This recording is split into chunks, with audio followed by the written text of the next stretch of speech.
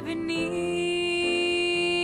the bitter snow lies the seed that with the sun's love in the spring becomes the rose. Do you think Grandpa's trolling us? Maybe he loved Bette Midler.